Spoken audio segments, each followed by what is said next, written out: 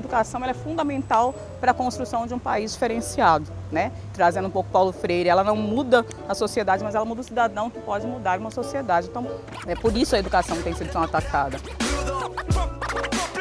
Nós estamos, infelizmente, nesse momento, numa calamidade da educação. Eu penso que nós estamos diante de, da maior ofensiva é, de privatização da educação pública brasileira. E o que nós estamos vendo é que a crise vem aprofundando, a crise econômica, a crise social, a crise política, a crise moral, e nada daquilo que disseram que resolveria os problemas do país foram resolvidos. Eu não vejo outra saída a não ser ir para as ruas e dizer o que se pensa. A educação no centro das atenções. Com esse objetivo, pesquisadores, sindicalistas e professores das redes pública e privada do país se reuniram nesta semana em Belo Horizonte, em Encontro Nacional da Central dos Trabalhadores e Trabalhadoras do Brasil. Durante o evento, os participantes também discutiram o cenário político e os impactos da conjuntura atual no setor educacional. Olha, 2016, a característica principal é um golpe de Estado, em que a classe dominante se junta, classe dominante brasileira, perpetra o golpe através de um impeachment forjado, essa que é a, a questão mais importante do ano. Agora, para que tudo isso? Para implantar uma nova ordem política, econômica e social dos interesses deles. Né? Isso quer dizer que eles pretendem, inclusive, nessa nova ordem fundada por eles, retroceder o país há muitos anos atrás. Isso é que é importante a gente considerar.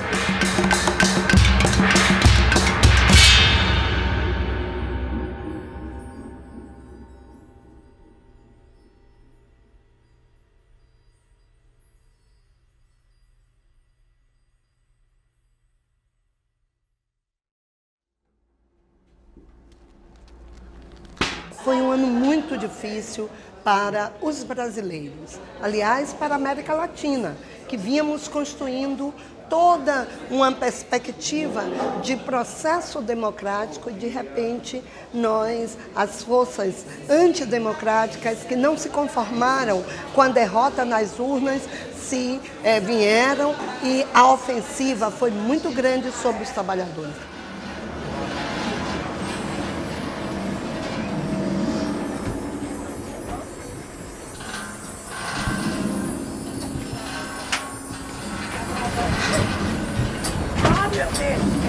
Okay.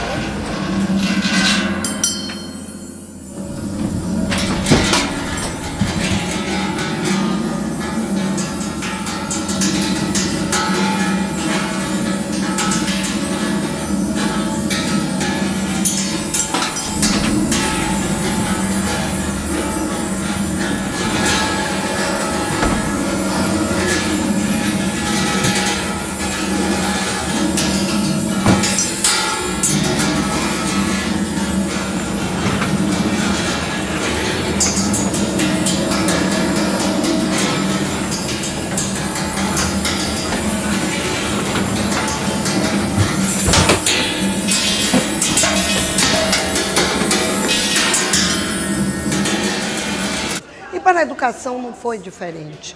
Nós, trabalhadores e trabalhadoras em educação, tivemos um ano de perdas, um ano onde os direitos da educação foram suprimidos, recursos para a educação, com leis, projeto de leis que de imediato foram aprovados e transformados em leis que tiravam o direito do povo a uma educação pública de qualidade, que é uma luta grande, é, vem, tem sido uma luta nossa durante muitos anos.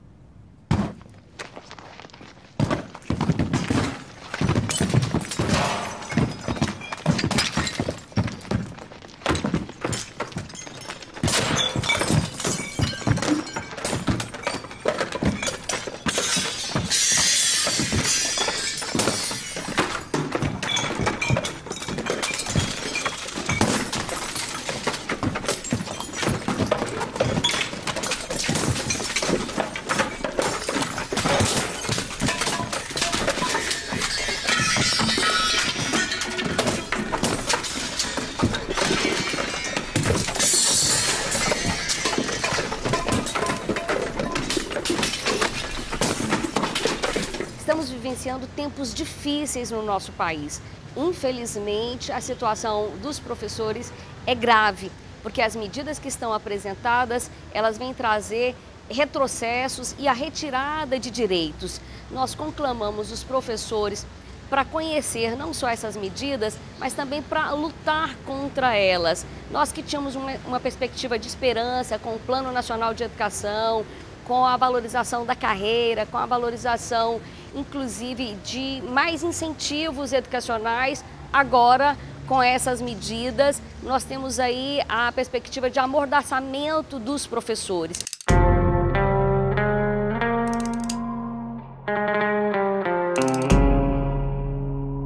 temos uma educação que permita a liberdade de expressão e a forma crítica de pensar, tanto do aluno quanto dos demais atores que compõem a, a, nossa rede de ensino.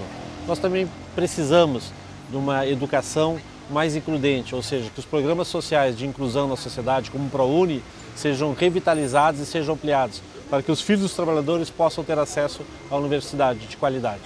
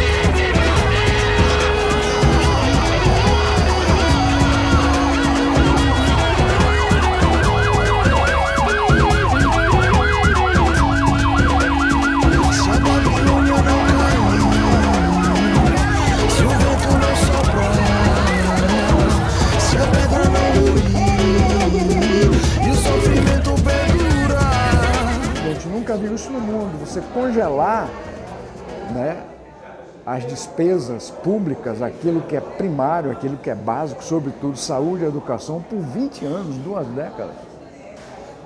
isso é inominável. Né? Mudança na Previdência Social, que também é um absurdo, porque a gente não sabe se boa parte, inclusive, vai conseguir se aposentar com o que eles estão pretendendo. E mudança, inclusive, nas leis trabalhistas, uma precarização do trabalho que eles vão aprofundar também com isso, tem uma situação muito adversa para a grande maioria do povo. É como quem diz assim, a gente vai se salvar e vocês que se lasquem. Eu penso que a 55 ela termina o ano de 2016 é, colocando aí uma, um, vamos dizer, é, uma pedra em cima de todos os sonhos ideais de, uma, de 20 anos de uma da sociedade. Da forma que está sendo feita, é, está se colocando a grosso modo que não vão se construir mais escolas públicas, não vão investir mais é, em, em educação de qualidade e, por conseguinte, nos profissionais. E a mesma coisa na saúde. E na educação, que é a nossa área, que é o nosso ponto principal aqui, é, isso é muito grave, porque o que a gente quer é, uma, é que a população, a sociedade, tenha acesso à educação pública gratuita de qualidade e a educação privada seja uma opção a essa a essa educação pública de qualidade, o que está se invertendo. Então, o risco é de um sucateamento e aí cai a qualidade também. Então, é um processo, um efeito dominó prejudicial que a gente hoje não consegue nem prever o que, que isso, a repercussão disso a médio e longo prazo.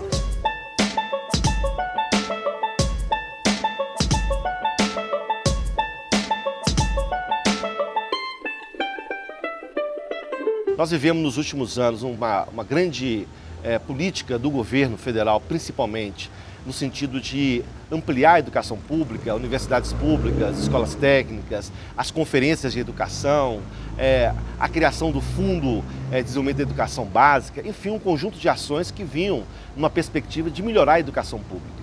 Com o golpe estabelecido é, há seis meses atrás, o que nós estamos vendo é um avanço muito forte do setor privado. A educação é questão básica, questão fundamental. A linha deles é caminhar para a privatização da educação. É o contrário do que vinha se trabalhando. que era exatamente uma educação gratuita, né, que servisse a todos e que praticamente as oportunidades de educação fossem exatamente para a totalidade da população. A indicação do novo ministro do MEC né, é um, uma pessoa vinculada às, às escolas privadas. Tanto que ele colocou, já demitiu o conselho, né, que era um conselho mais progressista, e todos os, os membros que ele está indicando são pessoas ligadas à, à mercantilização do ensino, essas grandes, esses grandes monopólios que nós temos hoje aqui, infelizmente, no Brasil.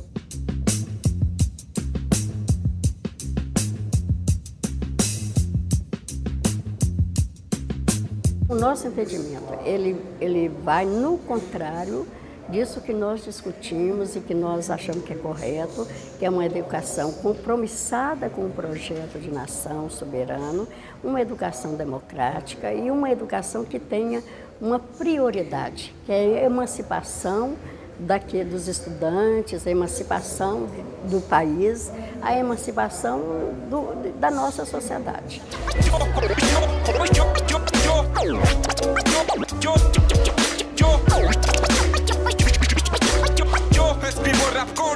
Eu acredito que não existe um projeto de nação, um projeto de país, sem um projeto de educação.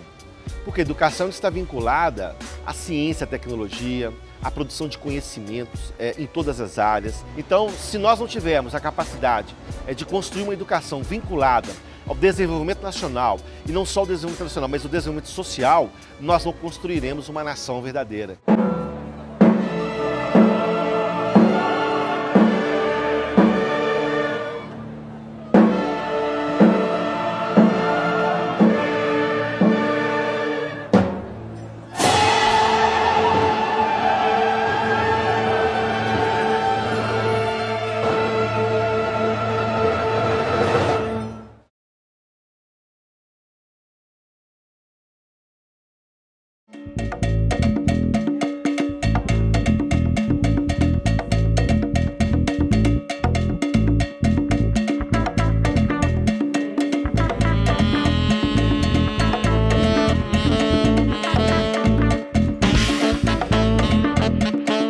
Tramita no Congresso Nacional um projeto de lei com o objetivo de proibir a discussão no ambiente escolar de temas como política, gênero e sexualidade. A proposta, conhecida como Escola Sem Partido, preocupa educadores e foi discutida durante o Encontro Nacional de Educação da Central dos Trabalhadores e Trabalhadoras do Brasil, realizado nesta semana em Belo Horizonte. Nós entendemos que escola sem partido representa a implementação, a tentativa de implementar uma ideologia que nós não concordamos, porque o, o, a, nós sabemos que ter ou não partido é uma decisão individual, é uma prerrogativa individual, mas que nós não podemos nos enganar que por trás do projeto Escola Sem Partido tem partidos de direita que não concorda com o avanço da classe trabalhadora, com o avanço de uma educação emancipadora. Não basta saber ler mecanicamente, Eva viu a uva. É necessário compreender qual a posição que Eva ocupa no seu contexto social, quem trabalha para produzir uvas e quem lucra com esse trabalho. Paulo Freire. Quem é Eva? Onde ela mora? Como a uva é produzida? Quem lucra com a produção da uva? Quais são os direitos de Eva? Por que não querem que Eva conheça a sua história? O que está sendo negado a Eva?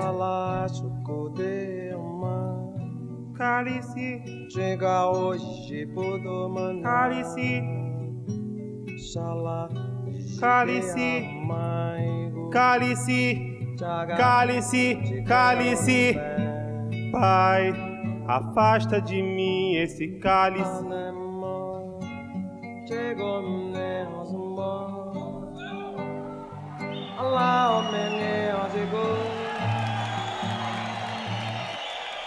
Escola Sem Partido é uma tentativa de trazer para o Brasil um movimento que fracassou na Inglaterra e nos Estados Unidos, que pede que não se discuta política dentro da sala de aula.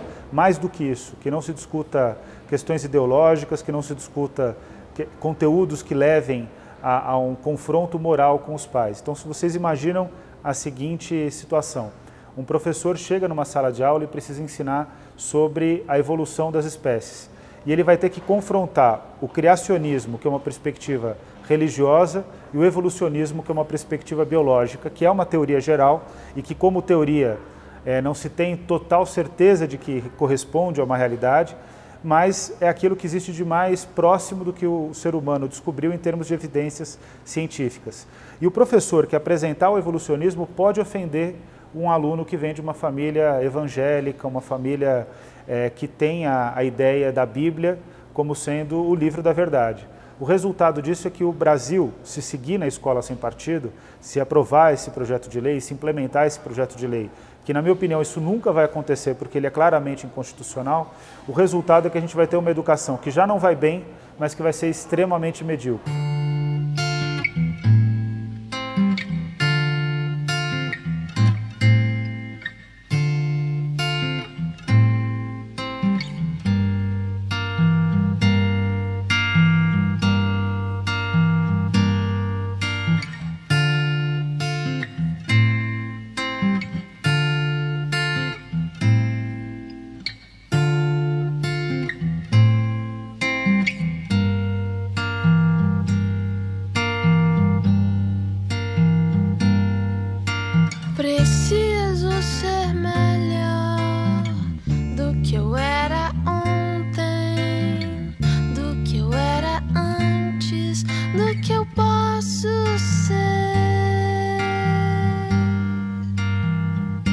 Ser uma educação que desrespeita a construção é, do conhecimento, que desrespeita a, a, a, liberdade do professor de expressar, e principalmente desrespeita aquilo que desde a Idade Média a educação vem desenvolvendo como um princípio fundamental, que é a liberdade de cátedra. Então, escola sem partido, na prática, é uma escola sem educação, uma escola sem cultura, uma escola sem valores, uma escola pautada por um conteudismo medíocre, completamente alheio à questão pedagógica.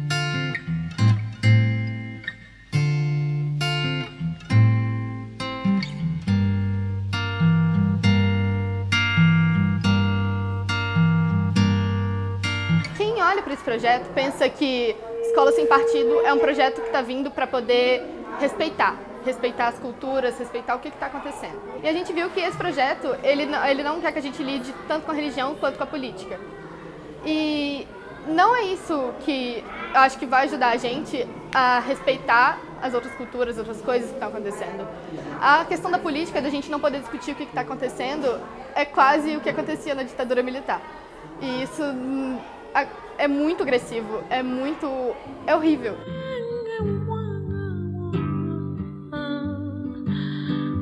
A gente precisa ficar sabendo de uma vez por todas que eles sempre vão apelar para a violência. E ai de nós, se nós não nos prepararmos para essa violência.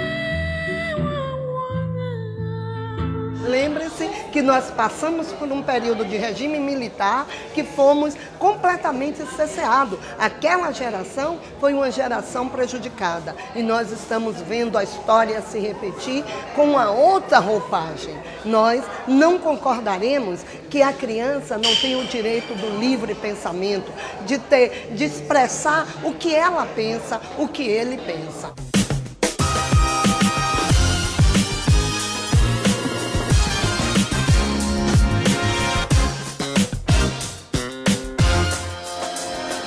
Nós não desconhecemos que o ensino médio ele precisa de uma reforma, ele precisa de uma reforma, mas não na forma como vem, vem o governo golpista de Temer vem colocando, né? Quer dizer, faz uma reforma de cima para baixo, sem discutir com os principais atores do processo educativo, que são professores e estudantes. Então, deixa de fora uma parte importante dessa, da sociedade nesse debate. E aí, infelizmente, a gente tem uma, uma perspectiva de uma reforma que segrega, que diferencia é uma, uma, uma reforma que coloca de novo nessa perspectiva de Brasil, onde nós temos a educação para, para, pouco, para poucos de qualidade e para muitos sem nenhuma qualidade. Eu penso que assim toda a sociedade inteira tem que ter o direito de opinar contra ou a favor de todos os projetos de lei.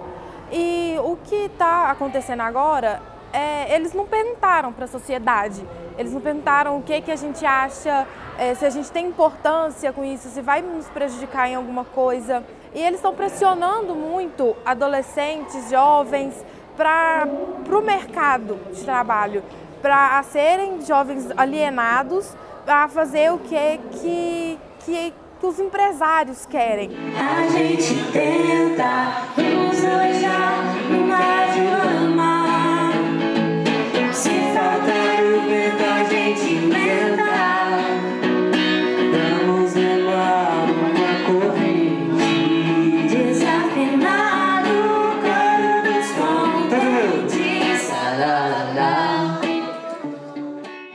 Nós temos, inclusive, no Brasil inteiro, uma grande demonstração de unidade, de força, de coragem que são dos estudantes. As ocupações elas foram fundamentais para abrir um debate social. Nós estávamos aí com a reforma apenas sendo um processo de discussão na educação, principalmente com os professores, e os estudantes colocam esse debate é, para toda a sociedade quando fazem as ocupações. Foram inúmeras ocupações extremamente importantes para os estudantes, porque é, é, foi um marco é, na, nessa discussão da gestão, inclusive das escolas, porque os estudantes fizeram uma escola dentro da escola. Né? Isso realmente mudou a realidade, não só do dia a dia deles, mas do dia a dia da escola. Né? Eles demonstraram que, vão, que sabem o que, é que eles querem para o ensino médio, sabem o que, é que eles querem para a escola pública. Vocês estão invadindo nosso espaço de Vocês estão com mandato? Vocês têm algum mandato para invadir? Não tem, então dá licença.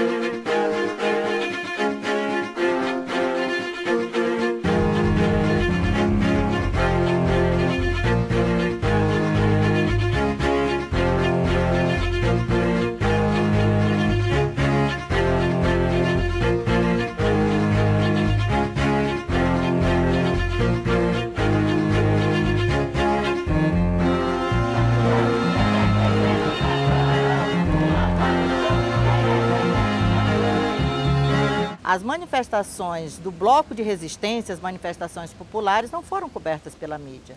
Nós tivemos durante o ano de 2015, 2016, uma ocupação de resistência muito forte dos alunos do ensino médio e do, do, do ensino superior também. Muitos universitários ocuparam escolas e universidade como forma de resistência contra o desmonte da educação. Secundaristas em luta! Secundaristas em luta! Exigimos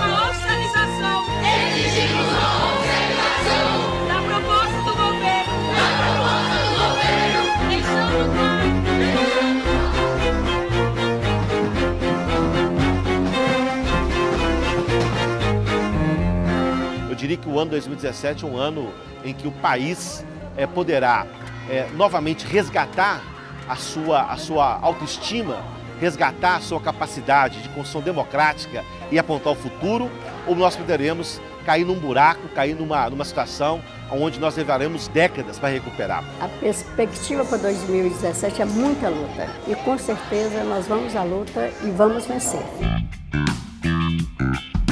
A rua é nossa Mm-hmm.